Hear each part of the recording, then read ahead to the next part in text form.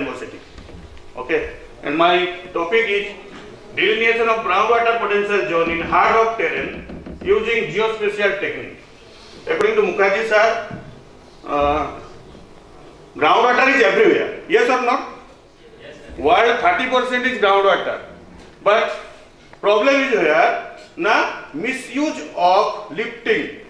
है ना borewell and tubewell घर घर में जाओगे ट्यूबवेल बोरवेल रहेगा और क्या है ना in India there are three type of terrain unconsolidated consolidated and semi consolidated okay but in hard of terrain consolidated zone is are there and next important is they are parent rock. In parent rock, there is not for second uh, second fracture zone. The water source is only in the lineament, fracture, fault, etc. And uh, remote sensing is very much important and a best technique for groundwater management. Nowadays, uh, remote sensing work is growing every day, every day. Okay? And last three decades, remote sensing uh, work very well in groundwater management. In groundwater management. Okay. My topic is near to the Jharkhand Rairangpur block. Okay, Bamanghaty subdivision of Mayurbhanj district. Now, this is introduction and study area. Uh, latitude 22 degree, 11 minute, uh, sorry, 11 minute 30 second, and uh, 6, uh, 22 degree 26 minute 30 second east, and 86 degree 6 degree 13 minute to 21 degree 15 minute north longitude. This is the uh, geographical location, and Solar India opposite 73 J3, J4, J7, and J8. And detailed information is given below. The next, this is the location. This is the, I saw it in DM model. Okay. And this is my methodology. Here we take geo. Actually, remote sensing only detect the of feature. Okay. In our surface feature, not detect some centimeters in the ground, but all information is given in the surface, our surface feature. So we take the uh, factor which related to the groundwater, that is geomorphology, drainage, geology, slope, soil, land use and lineament. Then there is a model. Here is the your internal seminar is groundwater management and modeling. We uh, here we uh, I manage the groundwater and model model is GIS model of weight overlay analysis model. Okay, that is the weight overlay analysis and groundwater potential. Last one. This is the due to the project demerits, the map is not clear. Okay, this is the default of project. No, but from here side it is very clear. No sir, मुझे तो अच्छे से दिखाई नहीं दे रहा है ये light को मैं शुरू से ही बोल रहा हूँ यहाँ पर अगर आप एफसीसी कलर में देखते हैं तो कोई भी इंटरप्रिट नहीं कर पाएगा। कौन सा वेजिटेशन है, कौन सा वाटर बॉडी है। Okay okay thank you next this is the factor drainage lithology rainfall soil land and minor factor major factor then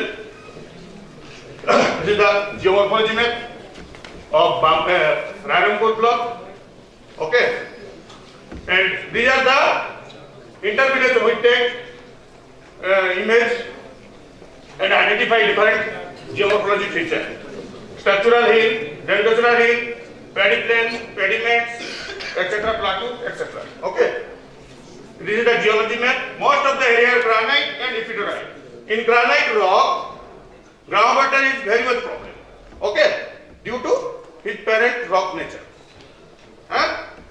Next, this is the lineament density, which is directly related to the groundwater potential. Uh, if lineament density is high and their groundwater potential is high. Okay. Then this is drainage density. In drainage density, the equation is reversed. If drainage density is high, then groundwater potential is low. Okay. Then this is land use land cover. Most of the area in this uh, is agriculture, 63%. Okay, this is slope, this is major factor for groundwater potential. And soil also take a best part to manage remote uh, ground water management. And this is final map. These are the village which uh, under zone and high water. Any question?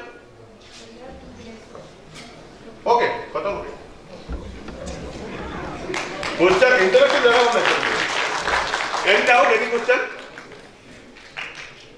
What the scale of resolution? If let us suppose, what the minimum scale of? Uh, list three. LISS-III is eh? LISS-III. If, is uh, one meter or two oh. so can it be? LISS-IV. List four. LISS-IV. Okay.